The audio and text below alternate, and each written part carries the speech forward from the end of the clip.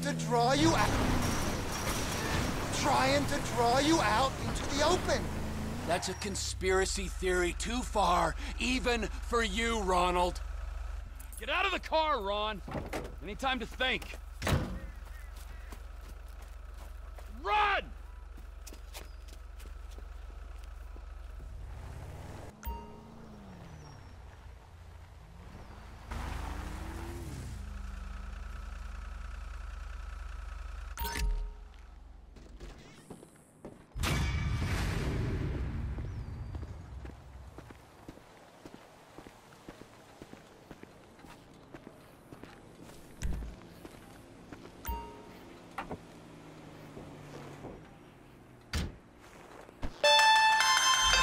Speak.